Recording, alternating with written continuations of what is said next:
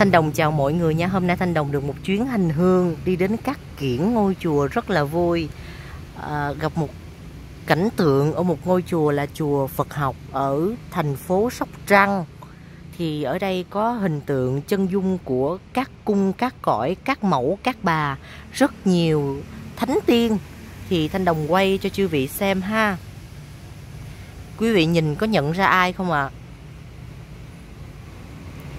Có nhận ra ai không ạ? À? ở phía trong là hình tượng của mẹ cửu thiên quyền nữ. Đúng không ha? Rồi, quý vị nhìn ha, thanh đồng quay cho quý vị xem ha. Mẹ mặc áo trắng ở ngoài cùng đó là mẹ đệ tam thổi cung. Quý vị nhìn sắc áo, quý vị nhận ra không ha? Mẹ ngoài cùng là mẹ đệ tam thổi cung. Kế bên mặc áo màu hồng đó là mẹ lê sơn tổ mẫu.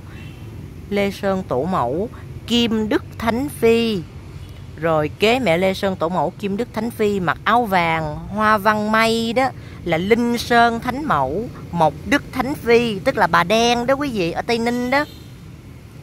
Rồi kế bên bà đen là bà chúa kho. Kế bên bà chúa kho mẹ mặc đồ mà màu đỏ, âm dương đó là bà quả. Rồi kế bên bà quả là bà mã châu. Kế bên bà mã châu là thủy cung thánh mẫu kế bên mẹ thủy cung thánh mẫu là bà chúa tiên.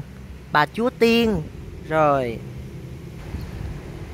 Kế bên bà chúa tiên mà hình tượng à, đức bà cầm cây trượng đầu long tóc bạc là ai quý vị nhận ra không? Đó là bà cố hỷ nương nương hay là thượng động thượng động cố hỷ nương nương thái thanh thượng động cố hỷ hoàng cơ mẫu. Rồi đây các cặp nam nữ ơi. Cầu con gì thì cầu mẹ xanh mẹ độ ha. Mẹ xanh mẹ độ.